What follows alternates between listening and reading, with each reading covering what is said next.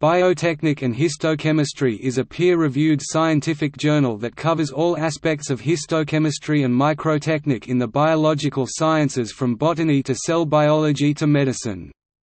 It is published by Taylor and Francis on behalf of the Biological Stain Commission. The journal was established in 1926 as Stain Technology, obtaining its current title in 1991. The editor-in-chief is G. S. Nettleton. Topic: Abstracting and indexing.